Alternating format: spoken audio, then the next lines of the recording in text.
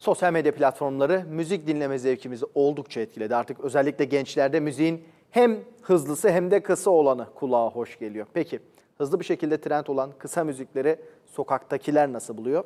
İşte cevapları.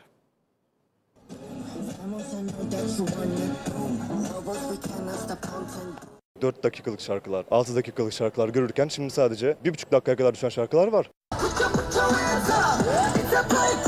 Bence orijinali bozulduğu için kötü olduğunu da düşünüyorum. Gençler hep dinliyor Z kuşağı falan ama bana hitap etmiyor yani. Eskiden müzikler uzun sürerdi.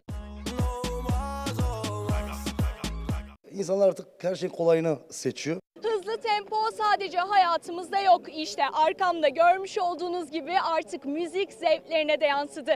25-30 saniyelik müzikler milyonlarca kez tıklanıyor ve izleniyor.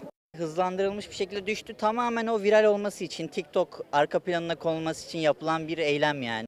Bence insanların çok uzun şarkılar dinlemeye tahammülü yok. Böyle 5 dakika bir tanesine hani tahammülüm yok. Yaptıkları müzik müzik değil. TikTok'ta e, dans trendleri olması adına insanlar müzikleri dansa uygun yapmaya başladı. Bizim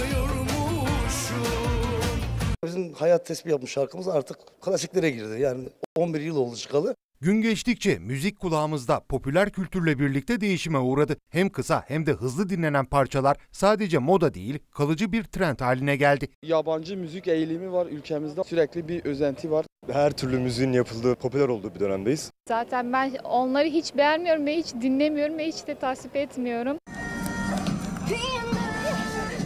Dikkat çekme ya da popülaritesini arttırmak için olduğunu düşünüyorum. Müzikler daha hızlandırılmış ve daha ritimli, dansa uygun olduğunu düşünüyorum. Bu değişikliğin en önemli sebebi TikTok gibi platformlar. TikTok açısından 1 dakikalık, 15 saniyelik videolar hit olsun, öne çıksın diye yapılan bu videolar müzik sektörünü oldukça kötü etkiliyor bence. Cuma cuma cuma cuma seni görünce benim hep güler yüzüm. Biz o şarkıları zaten saman alevi gibi diyoruz. Bir çıkıyor birden bütün Türkiye o şarkıyı herkes söylüyor söylüyor söylüyor ama dediğiniz gibi bir ay sonra kimse o şarkıdan bahsetmiyor. Genç nesile belki hitap etme açısından bunu yapmaya çalışıyorlar. Hızlandırılmış ve e, hiç kulağa da hoş gelmiyor. Daha anlaşılır, Türkçemize uygun şarkılar e, isterdik. Dinlenmediği için artık 25-30 özetleyip geçiyorlar yani. 15-20 saniye yani Reels videolarına yönelik şarkılar dinliyorlar.